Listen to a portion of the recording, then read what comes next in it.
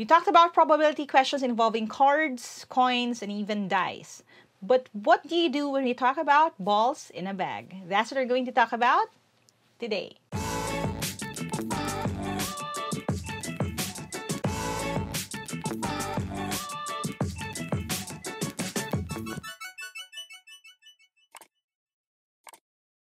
Hi there, thank you for checking out my channel. Thank you for clicking on this video. If this is the first video that you're watching from my channel, I make educational and motivational content. So if you don't want to miss any of my new uploads, don't forget to hit subscribe and hit that bell icon. No? Like I said in the intro kanina, this is all about probability pagdating sa balls in a bag, kung ilan man yung balls na yan, yung color ng mga balls, and all of those things. Pag-uusapan natin yan ngayon. But if you haven't seen the other videos on the probability series, yes, we have multiple videos about this. You can click on the I button right here to watch the other videos or nasa description box din sa baba if you're watching on YouTube. Alright?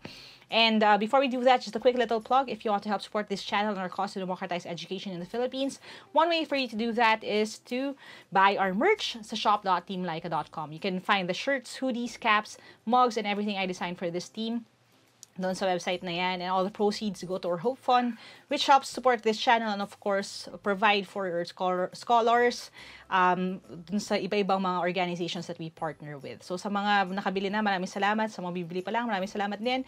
And thank you for making all of the things that we do possible. Alright? Now that we have that out of the way, I'm going to switch over to my tablet. I'll see you in a bit. Alright, so ito yung lecture natin on probability, specifically sa questions that involve balls in a bag. Pero before we do that, i-define muna natin uli yung probability. Now, sabi natin probability is the likelihood of something to happen. So, ibig sabihin, gaano siya kaposibleng mangyari given yung sitwasyon. And ang simple na formula here would be yung desired outcome or yung gusto nating mangyari, kung ilan yung posibilidad na yon over the total number of possible outcomes. Okay? So again, yung gusto mo mangyari over yung mga lahat ng pwedeng mangyari dun sa sitwasyon na yon. Now, kung ano na, kung probability problem na balls in a bag, meron tayong mga tanong na bubunot ka lang ng isang bola. Okay, which is what we're going to focus on in this video. Meron din na magdodraw ka ng multiple balls pero one at a time. Ibig sabihin isa, isa mo na bubunutin mo, tapos either ibabalik mo siya sa bag o hindi. Okay, so yun yung nangyayari. And meron ding klase ng tanong na medyo mas komplikado ng kaunti kasi gagamit din tayo ng combination, yung drawing multiple balls together. So, ibig sabihin isang bag, bubunot ka ng sabay na dalawang bola, tatlong bola, or apat na bola. Okay? But for today, dun muna tayo sa unang part, dun sa pinaka-basic. Tapos, pag-uusapan natin yung mga susunod sa mga susunod na videos. Okay? Now, tingnan muna natin yung image. So again, there is a bag, tapos meron kang balls. Kadalasan itong mga balls na to iba-iba ng kulay. Sasabihin din kung ilang piraso ng bawat kulay ang meron. That is very important kasi doon papasok yung ating uh, possible outcomes sa kung ilan yung total na bola sa loob ng bag. Now, anong gagawin natin dito? So again, it's desired outcome over total number of possible outcomes. At sa sitwasyon na ito, you have your bag at kung meron tayong power na gawing see-through ito, ang laman daw niya ay isang yellow ball, three red balls, and six blue balls. Now, paano natin kukunin yung sagot? Una sa lahat, titingnan natin yung ating desired outcome. Na anong gusto nating mangyari? Ang gusto natin ay makabunot siya ng yellow ball. Okay? Now, the next question would be, ilan yung yellow balls? Kasi yun yung ating desired na mangyari. Now, ang makikita natin, isa lang ang meron. So, yun yung ating magiging numerator. 1. Over, kung ilan yung total number of possible outcomes. So, ilan yon? You have 1, 2, 3, tatlong red, isang yellow, 4, tapos 1, 2, 3, 4, 5, 6 na blue, with a total of 10 balls. Okay?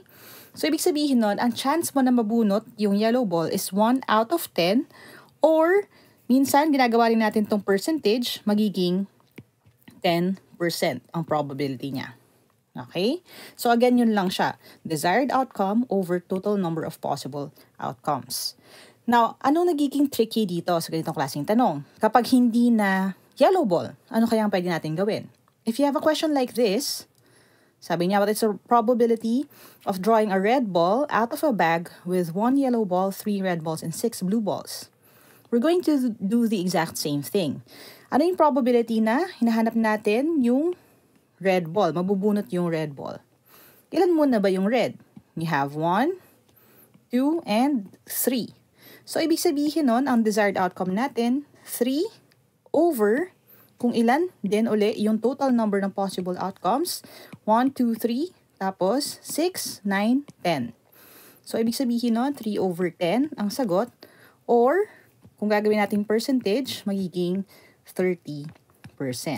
Now, if you're answering along, I'm hoping na kayang-kaya nyo tong part na to. Now, this next question right here, medyo mag-level up tayo. Kasi imbes na bigay niya lang yung kulay ng bola na hinahanap natin, ang sabi dito is, what is the probability of drawing a ball that is either red or blue? Okay? Now, ano ibig sabihin ng either red or blue? Ibig sabihin, okay tayo kung red ang mabubunot at okay din tayo kung blue ang mabubunot. This time, mas malaki yung possibility na makuha mo yung gusto mo. Kasi dalawang kulay na yung, sabihin na natin, gusto mo or desired outcome mo. Now, in this case, anong gagawin natin? Now, the first formula would be this. Kukunin muna natin yung probability ng red balls. So, ilan yon? You have 1, 2, 3. So, that is 3. Tapos, over 10. Ganun pa rin kasi 10 balls pa rin yan. Tapos, idadagdag natin yung probability nung blue. Okay, yung second naman na acceptable na outcome natin. Ilan yon? You have 1, 2, 3, 4, 5, 6. So, 6 over 10. Now again, ang importanteng tandaan dito is plus yung ating operation. I-add natin sila. Kasi again, gusto kong mangyari yung red, gusto ko rin mangyari yung blue. So it will be plus. 3 over, over 10 plus 6 over 10 is equal to 9 over 10 or kung gusto nating percentage, 90 So, mas mataas na yung probability kasi gusto natin red o blue. Okay? So, huwag nyo kakalimutan again, kapag dalawa yung pwedeng maging outcome na gusto natin, i-add natin yung probability ng bawat isa. Now, another and quicker way of looking at it would be, gusto ko ng red, gusto ko ng blue, tingnan ko lang lahat sila, 9 over 10. Di ba? Or titingnan ko na lang kung ano yung ayaw ko. Ang ayaw ko lang is yung yellow, that is 1 over 10. So, ima-minus ko lang siya sa buo, or 10 over 10, makukuha ko rin yung 9 over 10. But again, it's the same thing as this, 90%. Now, we will change two words. Ano yon? Ito lang. Gagawin natin siyang neither and nor. This time, the question is, what is the probability of drawing a ball that is neither red nor blue out of a bag with one yellow ball 3 red balls and 6 blue balls. Now, kapag sinabi natin neither, iba siya sa either. Meron tayong video lesson on grammar niyan ha. So, dito na lang ililink ko na lang sa as if, if hindi niyo pa napapanood. Either or, ibig sabihin may pinagpapipilian ka. Pag sinabi natin neither, parang not either, ibig sabihin ayaw mo nun. Okay? So, neither means no. Kaya kung sinabi natin, drawing a ball that is neither red nor blue, ibig sabihin, ayaw natin ng red at ayaw din natin ng blue. Ang gusto nating makuha ay hindi red at hindi rin blue. Which leaves us with just one here. Yung yellow na lang natitira. So, it's going to be 1 over 10. Or, balik tayo dun sa unang tanong natin, 10%. Okay? So, be careful sa ganitong words, lalo na sa exams. Doon minsan nako-confuse yung ibang tao. Lalo na kung sa options, meron tayong 10% at 90%. So, hindi mo alam ngayon kasi parehong possible na answers nandoon. Again, neither is not either. Ayaw natin yan. So, ang kukunin natin yung natitira. And kapag either, ibig sabihin pwede yung dalawang minention. Pwedeng red, pwedeng blue. Okay?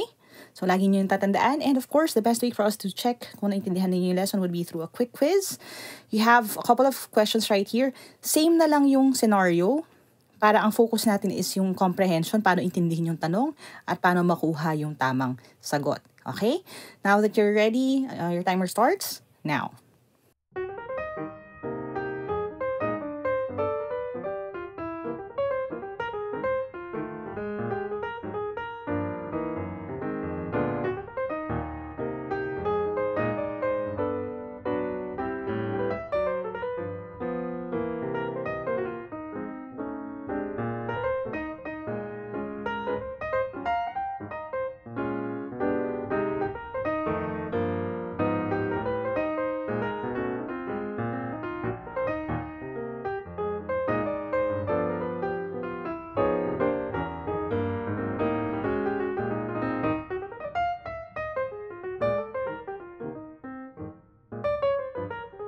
Alright, let's see how you did. So let's start with yung first question. Sabi, a bag contains one white ball, three yellow balls, six red balls, and 10 blue balls. What is the probability you'll draw a white ball? So dun muna tayo dun sa gusto natin mangyari. Gusto natin white. Nga sabi, one daw ang white ball. This time wala na tayong drawing. Pero madali lang naman din. Isusulat lang natin 1 over kung ilan yung total na bola. We have 1 plus 3 plus 6. So this is 10 right away. Plus another 10. So that is 20. So the answer is 1 over 20. Or kung gagawin natin siyang percentage, this is 5%. Na kung medyo naguluhan ko paano naging 5% yung 1 over 20, meron tayong video lesson on converting fractions to percentages, no? Or decimals. You can click right here sa I button to watch that. Okay? Ang ginawa lang natin doon is 1 divided by 20. Okay? Or, kanina kasi 1 over 10, that is 10%. Ang 1 over 20 ay kalahati ng 1 over 10. So, kalahati ng 10 is 5%. Okay? Now, next. Same condition again. So, alam natin over 20 yan. Pero ang hinahanap this time is red ball.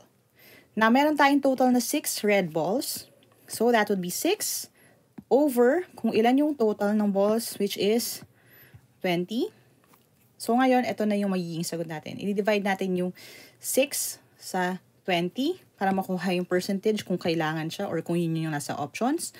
6 over 20, lowest terms 3 over 10 or 30%. Okay? So medyo ano pa, chill pa tayo. Doon tayo sa number 3. Again, same bag, no? Same number of balls. Pero this time, what is the probability that you'll draw a ball that's either says either white or yellow. So, okay tayo sa white, which is 1. Okay tayo sa yellow, which is 3 naman. So, this is going to be 1 over 20 plus yung yellow balls, which is 3 naman, over 20.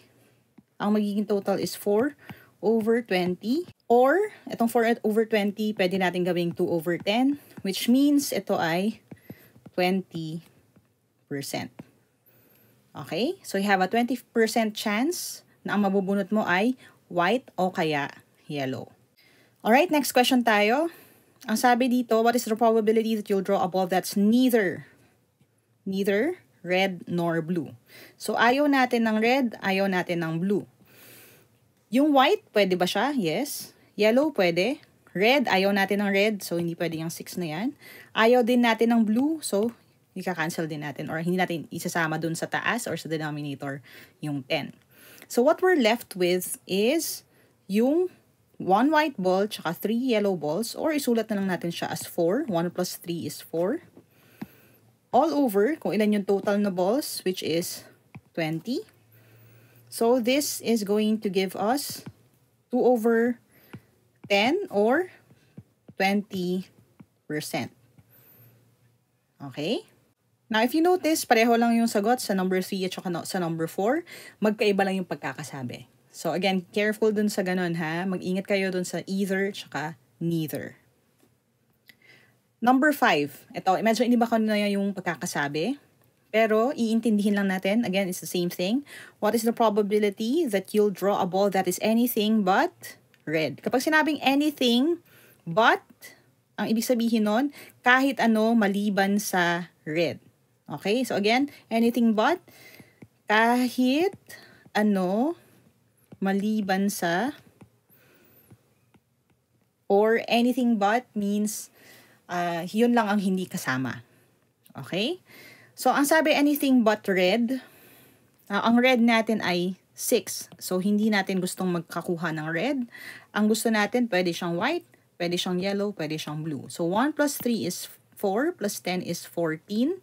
Yun yung ating denominator. All over yung ating dami ng bola, which is 20, still 20. 7 over 10, or 70%. Okay, so the answer is 70%. Yun yung anything but red. Okay? So again, it's all about understanding kung ano yung hanap sa tanong. Tapos, i-fit lang natin siya dun sa ating formula, desired outcomes, over yung total possible outcomes. Now, this is a good refresher. We actually have a full series on probability na pag-usapan na natin yung coins, cards, at uh, kung ano-ano pa. So, kung hindi nyo pa yung napapanood, ililink ko lang din sa description sa baba at sa i button sa taas if you're watching on YouTube. Alright? Now, if you want more practice, I'll be posting more questions on my Instagram account. So if you don't follow me yet, you can follow me at Laika Maravillo on Instagram. Doon natin pinopost sa Instagram story yung mga bagong quick quiz questions. At for throwback quick quiz questions naman, pwede nyo i-follow yung at Team Laika. Uh, marami ding mga resources doon at yung mga important announcements sa mga review events at kung ano-ano pa. You can follow at Team Laika on Instagram. Okay? And if meron kayong TikTok, you can also follow me at Team Laika on TikTok for the educational videos. Meron din tayong mga quick quizzes doon na iba pa doon sa pinopost ko sa Instagram. We have English, math videos, logic videos doon.